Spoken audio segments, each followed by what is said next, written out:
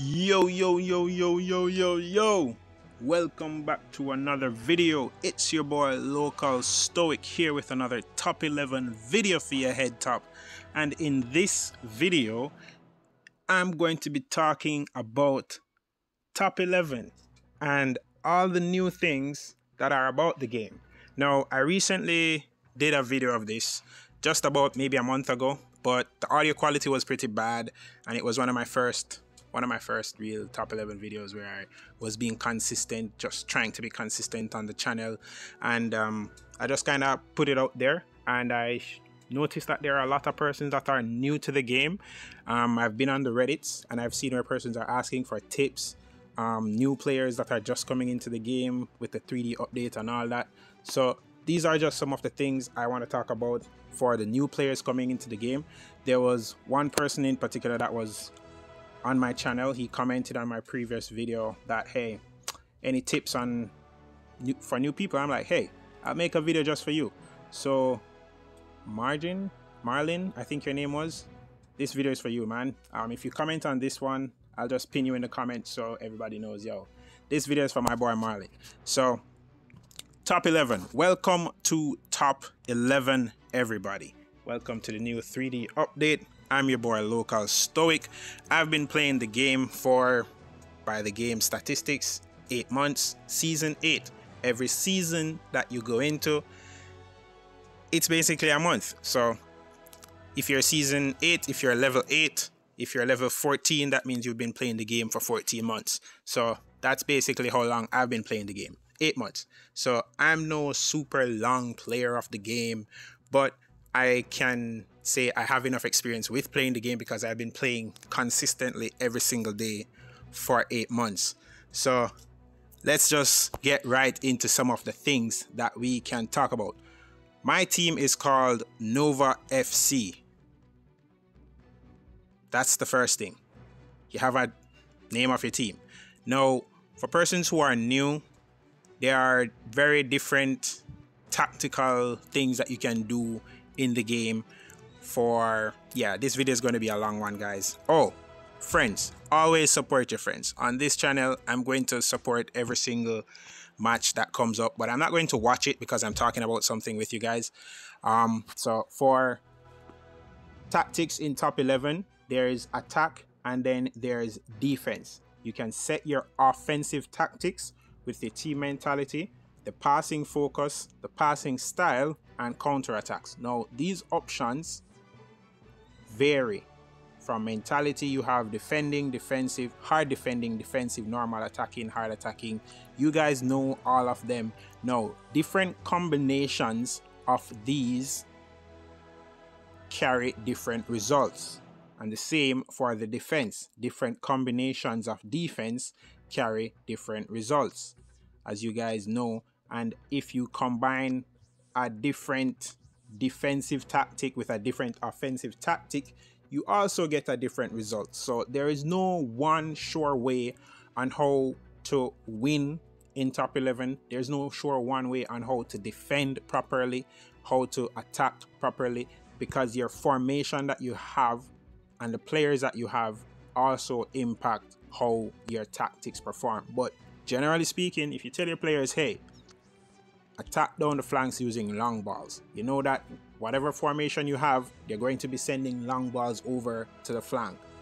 You know that regardless of the formation. So it's just a matter of finding an advantage over your opponent and trying to exploit that advantage. Now, it doesn't always work because if the quality of your players are lower, then it's going to be a lot harder to break down a higher opposition. But nothing is impossible. If you guys go through my videos, you can see where I pulled off some of the greatest comebacks I've ever seen in football history in this game. So I think that I think so anyway. Let me know what you guys think. Been to many finals. I've been to every single Champions League final. I've been to every single cup final that I've entered except my first my very first season which I was new to the game. I didn't know anything. I figured it all out on my own. So maybe I had one friend, Mark, he had experience in the game, but he also didn't really know much. when I started playing and he realized that I started playing, that's when he started playing again. So yes, he's a higher level than I am, but he didn't really know much. So basically everything I learned, I learned on my own. And I'm now telling you guys how to be good at it. So your tactics is just trying to exploit your opponents. For my next match, you can see my opponent is playing a 4-1-4-1 V formation.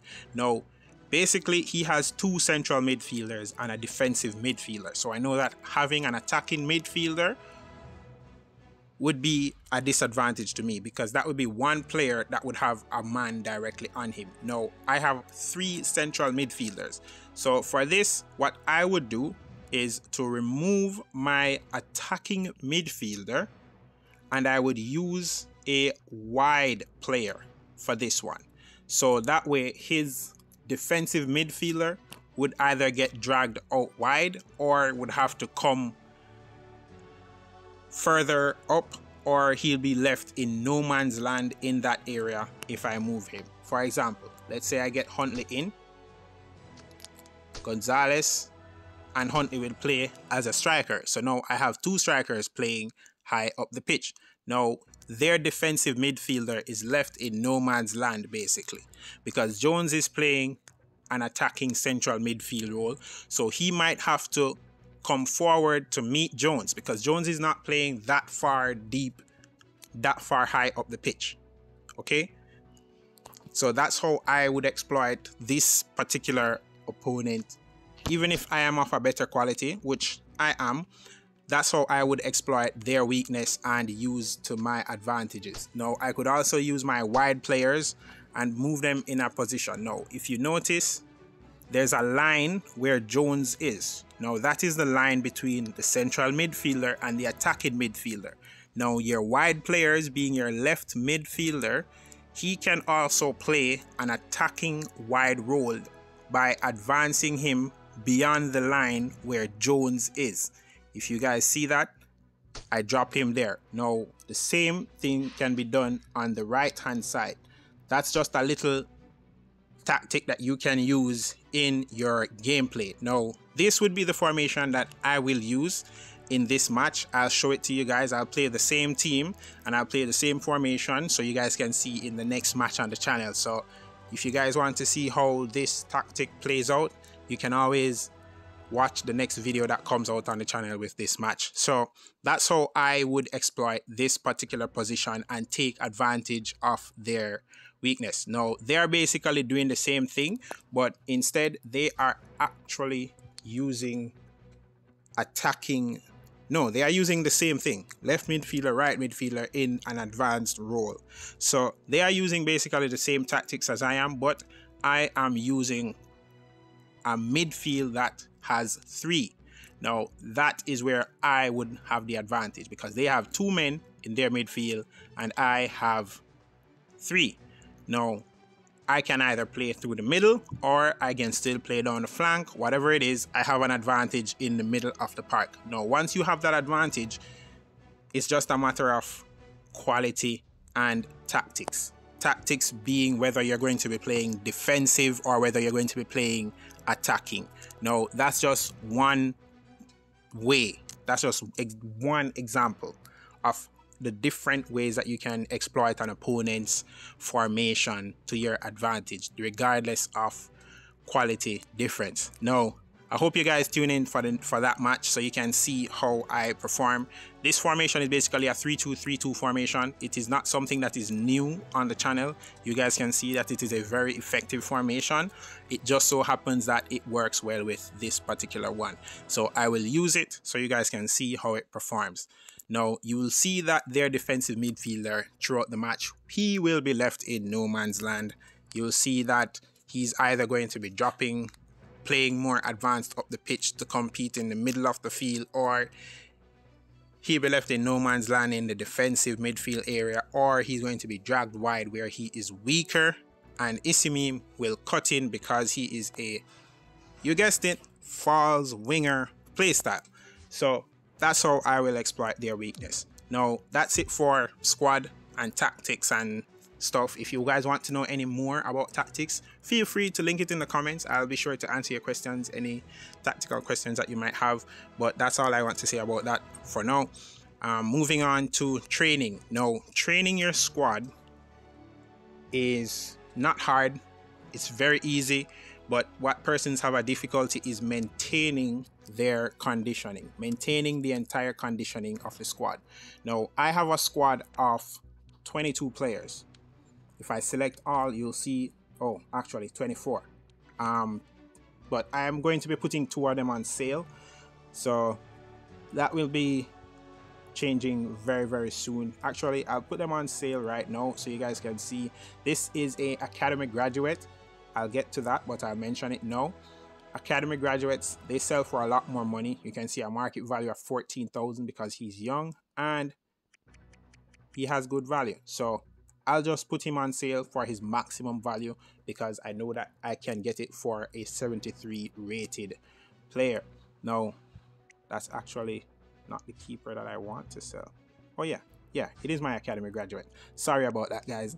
But yeah that's how you you want to sell your academy graduates at maximum value if you can. So you always put them at the maximum value if you don't plan on using them in your squad.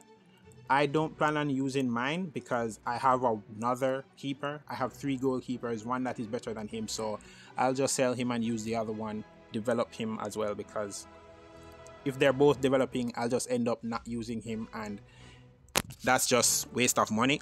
But anyways, I have 24 players in my squad. Maintaining physio is not hard.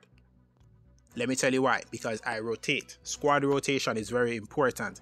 If you have a weak team and you have a strong team, use both your teams. Sometimes you might have to pick one or two players from the strong team to make up in the in the weak team to get some tactical advantage. Then you have to do so. But you have to rotate your squads. You'll be playing two matches per day. One team is going to be better than the next one. If you're playing two strong matches, then you have to mix your team. That's how you maintain squad possession. If you decide that you're going to play one team for both matches, you'll have to watch ads in order to make up for the health. Or you'll have to use your rest. Rest is very expensive in the game. I don't spend my coins on rest at all. So I don't recommend it. It's not worth it. So that's why I recommend squad rotations. Mix and match your teams as best as possible to get an advantage. If you have to play both your strong teams in order to advance to the next round of the competition, or if it's a league match and you think that you have to win this league match in order to win the title, then do that. Play your strongest team, run them down into the ground, and next day will come and then you can figure it out after watching a few ads and developing their conditioning. So that's what i recommend for um, maintaining conditioning watching ads and squad rotations. Now i typically use drills that are easy. Now if you use drills that are easy it makes it better. It makes it much better to maintain squad conditioning because easy drills use less intensity use like 1.5% conditioning so it doesn't take much out of your players. Now the usual um sorry the usual drills that I use in combination is warm up stretch ladders and then I would just use either skill drill one-on-one -on -one finishing or I will use pass go shoot. I tend to use pass go shoot a lot because I want speed passing and shooting to be a skill that is running ripe through my squad. So that's why I always use pass go shoot in most of my drills. So I will sometimes straight out skill drill and put in one on one finishing, but I always use two attacks, three physical and mental, and then one defense. After that, I do a third one. That third one will then have two from each, two attacks, two defense, and then I will just like maybe throw in a medium one there. And then you use some easy for the physical and mental. Always use easy for the physical and mental when you throw in a medium for either defense or attack. Now, you do like this and then you do a third training drill. There's a video on my channel. I will link it in the description so you guys can check out that training video. And that is the same drill that I use over and over and over throughout the season. Sometimes I mix and match and putting maybe a shooting drill or I'm putting a set piece delivery, a slalom dribble, but generally it's the same rotation. A three physical and mental, then two for each for all the other training. But the first training is always three physical and mental, two attacks with one defense. The other two the other two training drills that should keep your bonuses at maximum right throughout the season. Your bonuses will always be at maximum. And you want to be sure that you do the drills as soon as it goes back to 32%. Once once the game resets, for me it resets at 9 o'clock thereabout. So once it gets to 9 o'clock, I know that I sign in and I run my run my drills, get my bonuses up so that I'm ready for the next day. That gives the game some time to recoup some conditioning before the next match. Sometimes I have a match at 6 o'clock in the morning. My players are tired. I don't do my drills until after the first match in the morning. So I will play that match with my 8% bonus because it is much better to play a match with 8 with 32% bonus as opposed to playing with a tired squad. A tired squad will lose you the match a 32% bonus squad, they can draw you the match if they are healthy. So always go to the match with healthy players. If you have to postpone training until after your first match, do that. But make sure for the second, before the second match, you do your training and you just rotate your players because they're going to be tired regardless. If you're the further you go in all the competitions, you're going to be playing more games towards the end.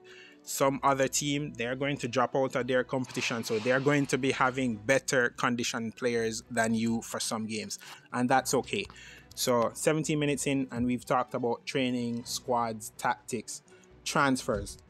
No transfers for this match no not for this match sorry for transfers auctions are what i recommend in getting players no you don't want to buy players at the end of the season. For those persons who are new to the game, this is a perfect time to get players at the beginning of the season. As you can see from my homepage, this is day two of 28. So the season is still young. You go to the transfers, a lot of activity is going to be there. If you look on the high high rated players, you're going to see lots of persons bidding up to 17 tokens um, 17 tokens for high rated players, and that's normal. You're going to see bids in that range for five star players and up. That's normal. So I recommend only spending 15 to 17 tokens on players in the auction. You don't want to spend 20 tokens on any player in the auction. If they are 99 rated and you can manage to snipe a 20 a 90% rated token a 90% rated player for 20 tokens then by all means snipe it. But generally speaking you don't want to be spending more than 15 tokens in this auctions. Why? Because just for an additional 10 you can walk away with a six star rated player from the scouting. Now, these are the cheaper ones at the bottom. 39 tokens is usually the cheapest they get. Sometimes you might find them for 37, but if you wait until four days is left in the negotiation, sorry, four days is left in the season, which would be about day 26. Yeah, negotiations. Negotiations now in this list, when it opens in 19 days, you'll see players who are rated 99%. Now, you can get these players for about 15 tokens. You can get one for like 16 tokens, 14 tokens. These players are well worth it because here's why. They will lose a star for the new season if you get them at the end of the season. However, it doesn't take one or two match plus three training sessions to get them to that fifth star. So, what you will be buying basically is a five star player for the upcoming season. That is exactly what happened with my goalkeeper. Now, if you take a look at the goalkeeper that I bought last season from the negotiations window, he is rated 79% in this new season. Yes, I bought a 31 year old goalkeeper because he is still a good quality, especially because he has a special ability. Now, I don't know if this special ability is going to be effective because last season, when the game had just updated, special abilities were basically useless. You had one on one stoppers in goalkeepers who were basically unable to save one on ones. You had one on one strikers who could not score one on ones versus goalkeepers. So, hopefully, his play style and special ability not play style, sorry, his special ability will be effective. Now, that's how you deal with negotiations from the transfers. Now, that's what those are my tips that I recommend for transfers. Now, auctions, don't spend more than 15 tokens. If you're going to buy a player from the auctions, make sure it is a 4-star almost 5-star player. So, for example, this is a good player to buy, 76. It's going to take a couple matches and some training sessions to get him to that fifth star. But if you do it early in the season, he'll be worth it for the rest of the season. He'll get you to that semi-final. He'll get you through that to that final if you need to. He'll get you through to the quarterfinals because if you buy him at day two, he'll get that fifth star before you get to the round of 16 of the cup or if you get to before you get to halfway in the season he'll get that fifth star because he's 76 rated. So that's just one example. This is a striker five stars. It's good. You can bid on this one. I'll bid on it because he's a good striker. I may not win but you know it's okay seven tokens is a good price to pay for a five star rated player the younger they are, the more expensive they will be. So the older ones are going to be a bit cheaper, but you'll have to snipe them. You'll have to be watching them and seeing how how many persons are bidding and see make sure that you don't buy a, a 30 year old player for more than 10 tokens from the auctions. Just don't do that. It's not worth it. They're going down. They're not going to develop anymore. So don't buy a 70 rated player who is 30 years or older. They're not developing, they're only declining. Only unless you're desperate. And please don't pay more than 10 tokens for that goalkeeper. They're not going to be worth it. All right. So be careful of, be mindful of their age and be mindful of their statistics because statistics meaning their skills and their numbers because they won't be developing if they are too old and if they're younger they will develop faster and their price will be more expensive. So it just depends on how much you're making at your club and what's your quality at your club. So it's basically you as a manager and maintaining. So those are my tips for transfers, training, youth academy. Youth academy, oh boy.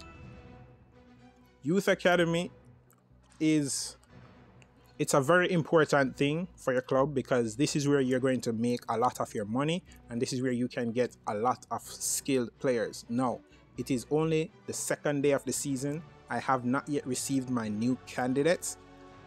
I'll make a video for that when that time comes, which should be tomorrow. So, not much I can say about the Youth Academy right now, but because of the level where I am at, I had developed my stadium my youth training, my youth academy to level 10. That is what allowed me to be able to host four slots in my youth academy. So you want to make sure that you develop your youth academy to level 10 as soon as you're possibly able to so you can have more players coming in from your youth academy. That's the only tip I can give you as of now. There's going to be so much more I can talk about, but I'll have to show you. So we'll skip over that for now. Fixtures. you want to pay attention to your fixtures just to be ahead of your team and know what matches are coming up, what difficult matches are coming up for day one, day two. So you know that every other day you have a cup match, every other day you have a Champions League match, every single day you have a league match. So you know that you're going to have at least two matches as you go throughout the season. Now, there are going to be some more additional friendlies, competitions that you might have to participate in. So those are just some other third matches that you might have for the day. So just to be ahead of your fixtures, pay attention to it, check them regularly and see the hard teams and the easy teams so you can know when to rotate your squad. League still not open yet, opens on day three, so I have to wait until tonight to see the Champions League. Now, for the Champions League, tips and tricks. No, for the Champions League, you want to make sure that you check every single group. Check all the groups, go through them, see the competition. I already did, so I don't have to go through it right now, but you go through all the groups, check the competition, and see what they look like because you'll have to plan your Champions League route. Because at the knockout stage, some of these persons you don't want to be on the same side of the the bracket. You don't want to be on the same side because you're trying to get to the final.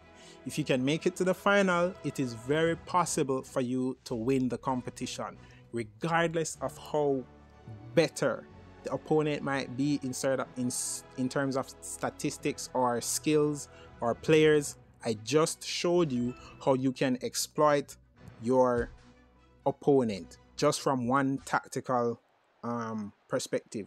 Oilers fell into the Super League. That's unfortunate. I played Oilers maybe two seasons ago in the Champions League. He made it into the, the semi final, but somehow he fell to the the Super League. Anyways, I was talking about the Champions League. Now, yeah, Oilers is a friend that I he keeps playing, so I just add him as a friend. You want to make sure you add friends. They send you things in the game that you can use.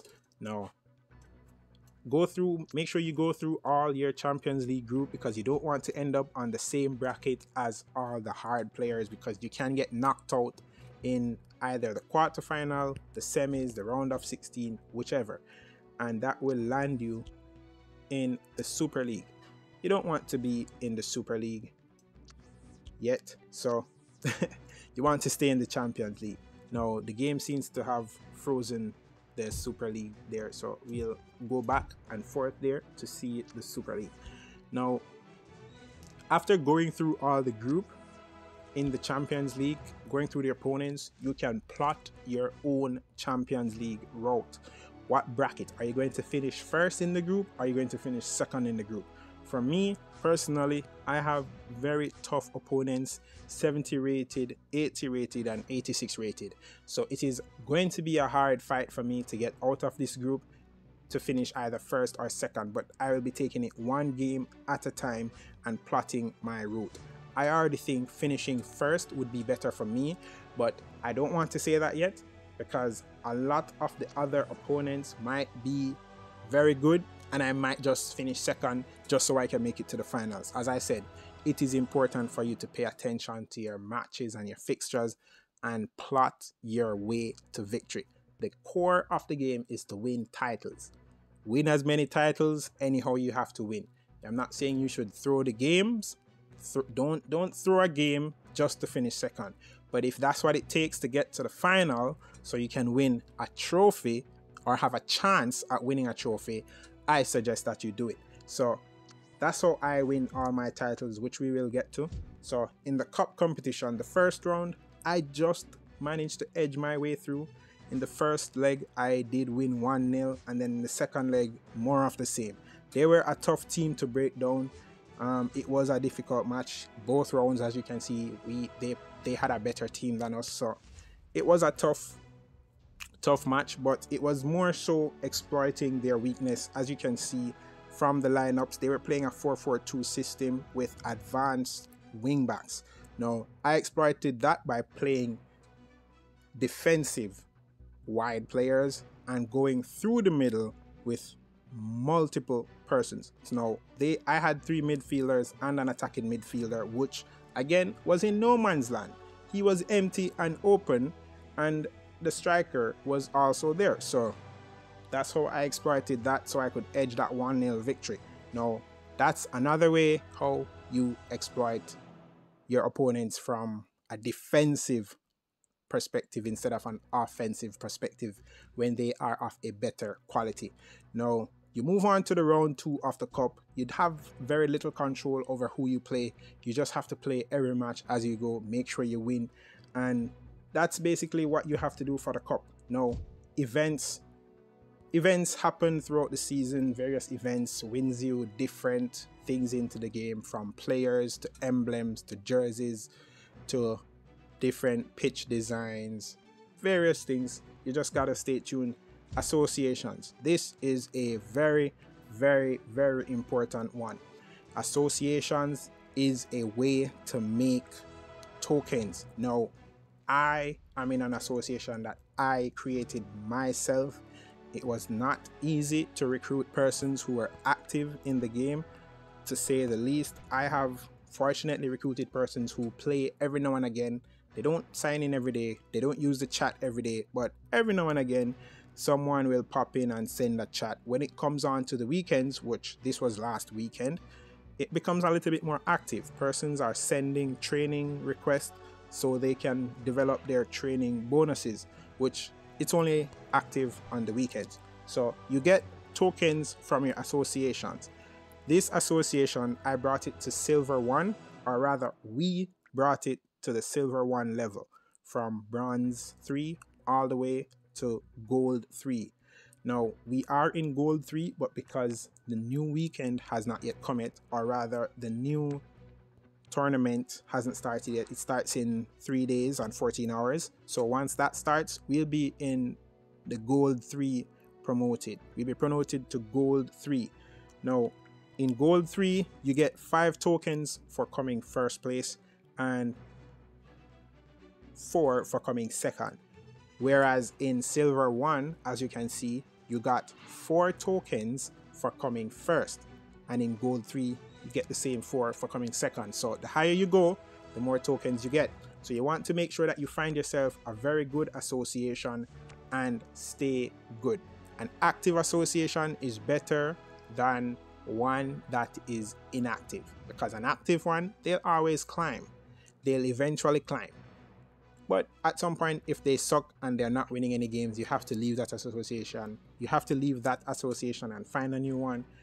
Or, as I did, try to build my own and hope good players find me. Or I go to the Reddits and recruit good players. Players are always on the Reddits looking for associations, or associations are always looking for active players. So, that's as much as I can say about associations and their importance, you get tokens from them. And recruitment can be done from the player level, or you can search for an association itself. But I'm already in one, so I can't search one. So, anyways, that's how you get into. That's all I can say about the associations and their importance. Very important for getting tokens. Now, the club. My club, home kit, away kit, I started playing in 2021 in October, as I said to this day, that would be just about eight months. So that's my team, and those are my jerseys that I have accumulated over the eight months that I've been playing. Couple em- emblems, sorry, um, but I just continue using the same old one that I started with because I, none of the other ones attract me. Maybe the carnival one, but nah. Anyways, season stats. These are for the season 8 that just started. Two wins so far, no losses, no draws. And then all time stats. I've played eight seasons.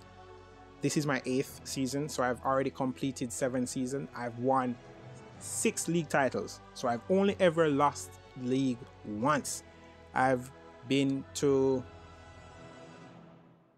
seven yeah seven champions league finals i've won four of them four consecutive Champions League finals. I've been to, I've won all four of them, and three, I've been to four cup finals, but I only won three. I lost the one the other day versus Cute Penguin. That's also on the channel. You can go watch that match. It was it was a smashing defeat. And the Super Cup. Every time that I have won the Champions League, I've gone on to win the Super Cup by almost default. So these are my all-time stats. You can see I create hella goals. I don't concede much. My assist record is with a player that is still active at my club, Ballas, with 77 goals and 36 assists. And appearance, Ricky Ricketts, the first supernova of the club. There's a video on the channel about Ricky Ricketts. You can go check that one out for more. Um, longest win streak 22 38. Those are just some club stats that you guys might like. As a manager, there are different objectives that you know you can win. I still have not yet figured out what international cup trophies are. I, I just think that is something that you unlock at a higher level of the game. I don't know. But in all my seasons, which was season 7, which was last season, I won three cups, as you can see, came second in the cup. Previous season, that was the season that I lost the league, but I still somehow managed to win the Champions League, which was an exciting match against Suara Rakyat. That's also on the channel. Go check that one out. Previous season, I won the quadruple. Exciting, exciting season also on the channel. This season, only got two, the cup and the league. Season three, I did the quadruple. That was the first time. It was a mad thing. It is also on the channel.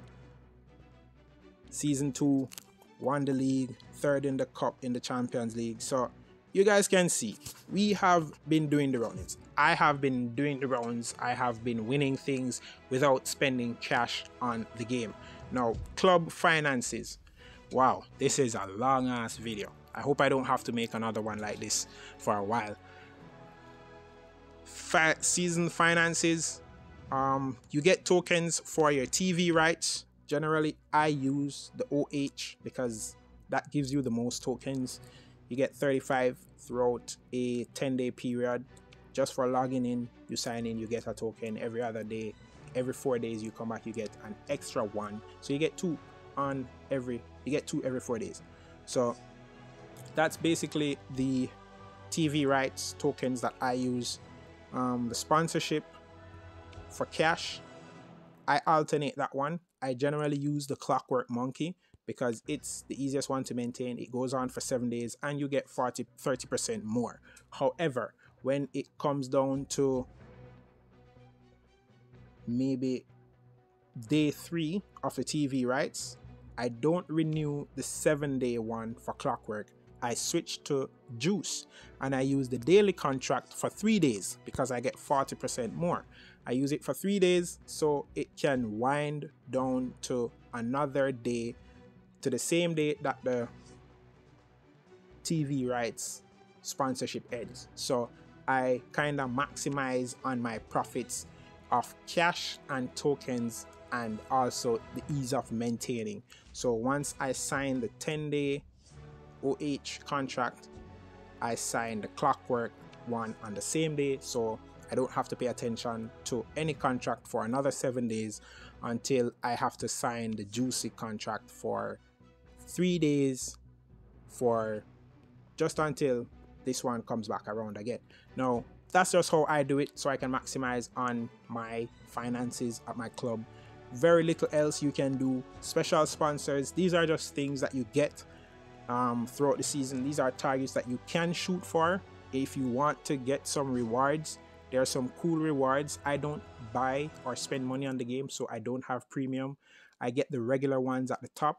I've already gotten the health pack, boost pack, and the positioning attribute, which I gave to one of my players. I have a few more. I always try to aim to get to the academy overall coach this one. Once I get to this one, I know that, okay, this was a successful season in terms of rewards from the special sponsor on my behalf.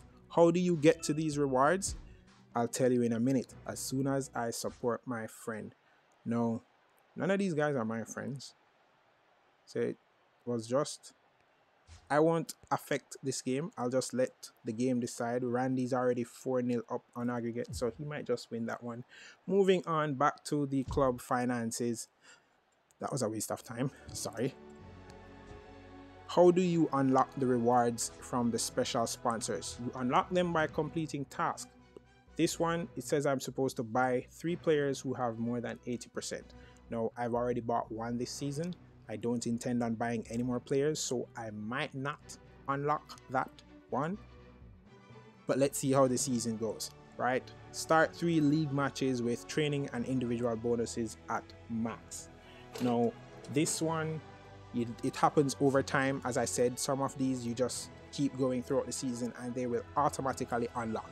All you have to do, come back here to the special sponsor screen and claim them. Once you claim them, that's how you get the rewards. That's how you unlock the rewards in the special sponsor. And again, I consider a successful season after getting the youth academy coach. Everything else after that is just additional and it's a lot harder to get, especially if you're not putting money into the game. That's all I can say for the club. No, club finances. No. Tickets. Tickets for your league games you always want a full stadium in the league matches because home advantage is a real, real thing. You need as much bonus.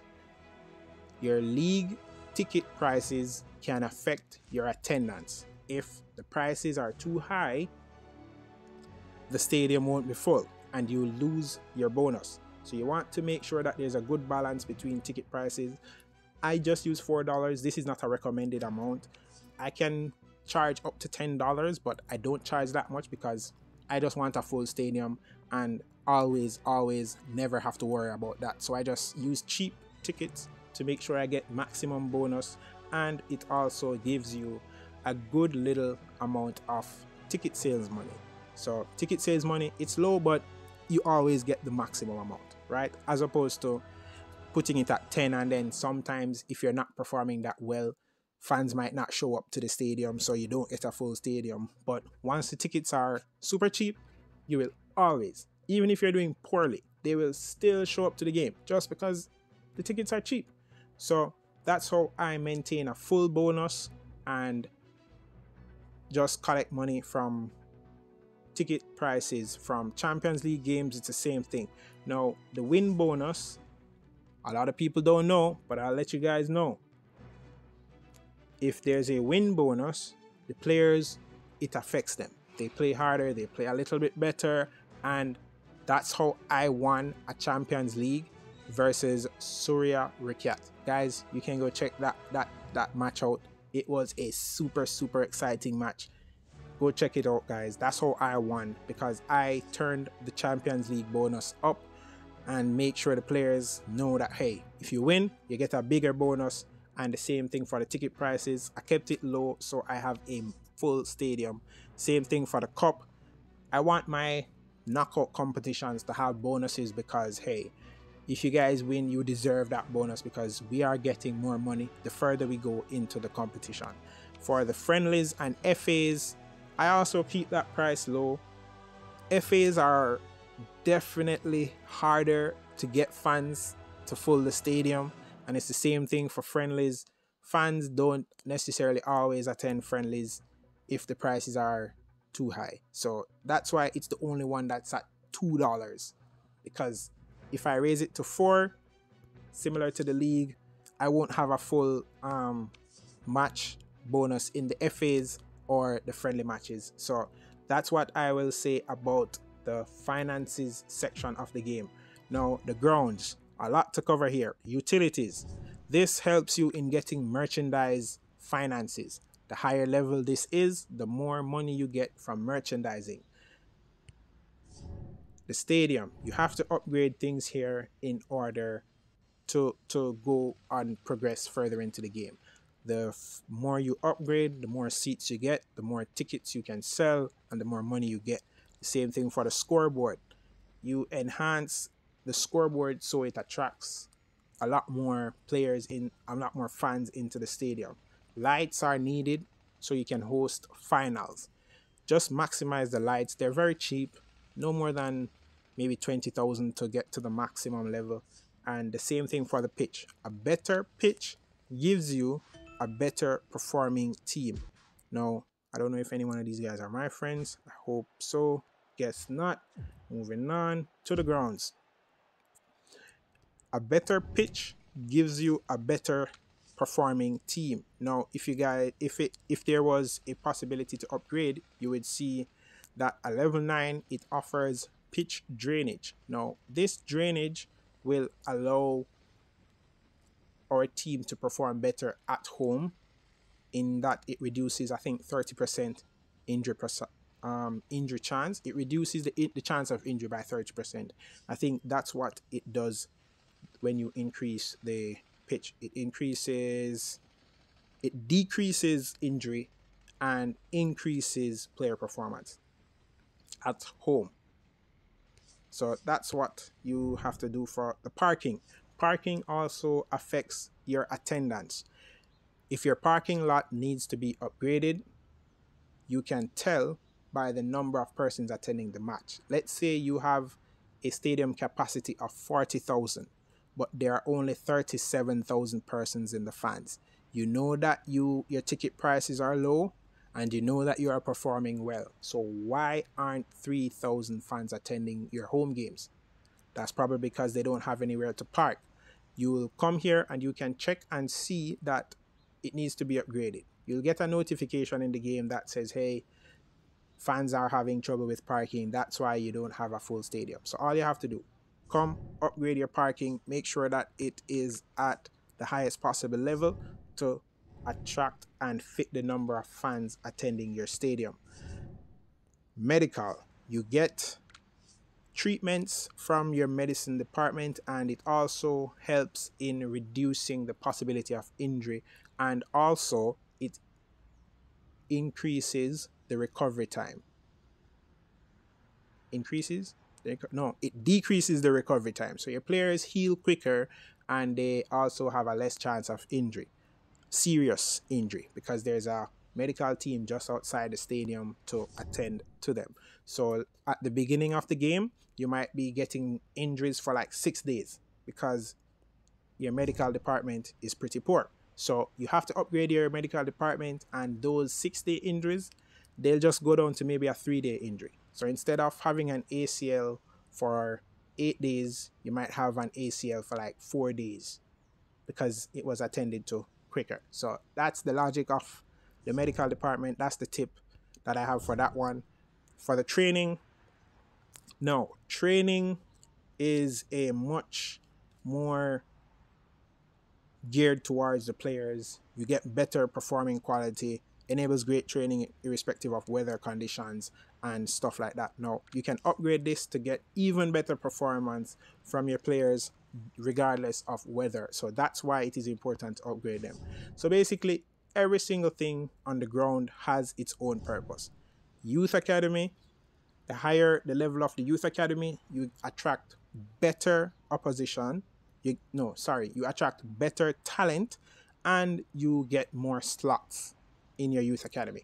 That's basically what you get from upgrading your Youth Academy and you want to maximize that. Better quality gives you better players. Better players give you more money. Or if you're not interested in selling youth players, it gives you a better team to build on. So that's what you get for the grounds. And the game is freaking out. Last but not least, community feed. Various things happen here throughout the season. You want to check this because constantly there are updates there that you can win things and stuff like that. And the shop which i hardly ever visit because i don't spend money on the game. So yeah and i don't waste my tokens on these things. Maybe sometime in the future when i get higher association i will do that. But for now i don't really use those functions of the game. There's a lot more that you can talk about in top 11 but those are the important things that i can point out off the top of my head. I hope this video helps all the new persons in the game because this is a very good time to start playing top 11 new 3d update as well as it is a fresh start to a season, so it's a good time to get good control over your squad and charge them to victory in the season. So hope you guys enjoyed the video. It was a long one. If you did, hit the like button. If there is anything that I might have missed that you wanted to talk about, let me know in the comments below. If there's any other tips that you might want to ask, hit me up on Reddit, hit me up on the socials, LocalStoic. Peace out.